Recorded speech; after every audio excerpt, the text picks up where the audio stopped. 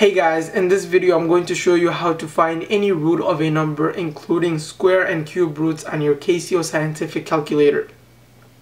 The model I have here is a FX300MS, but it should be the same for similar models. This is one video in my scientific calculator tutorial series.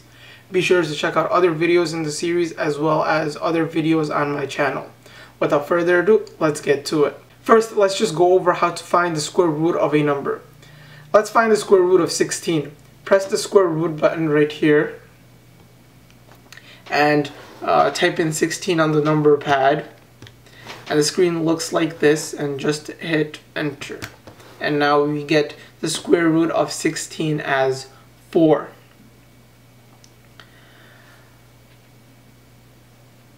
If you had operations being performed inside the square root, you should put the numbers inside the square root in parentheses to define what is actually uh, being square rooted. For example, if I had uh, 4 times 4 inside the square root, I would uh, have the square root sign, open parenthesis, 4 times 4, close the parenthesis, and then hit enter. 4 times 4 is 16 and the square root of uh, 16 is 4 so we get 4 once again. Next let's go over how to find the cube root of a number. Let's find the cube root of 27. If you look on your keypad notice that there is a yellow uh, cube root symbol above the x cube button. In order to access any feature color coded in yellow press shift and press the button over which the yellow writing is located. So in this case press the X cube button and you see that the cube root symbol appears on the screen. Now go to your keypad and type in 27 and the screen looks like this. Hit equals and we get the cube root of 27 as 3 which we know is correct. Lastly, let's look at how to find any root of a number.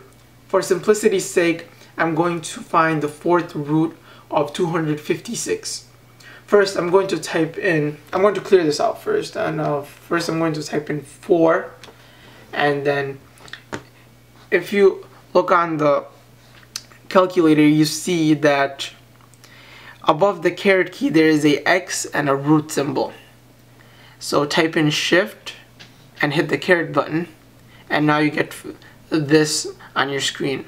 Type in 256 on your keyboard and hit equals and you get 4 as the answer and we know that the fourth root of 256 is 4. You could do this for the nth root of any number where n is an arbitrary number. Hopefully this video was helpful. If you haven't already please subscribe.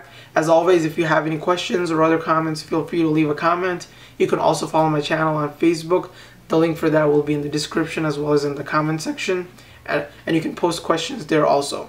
Check out other videos on my channel and until next time, take care guys.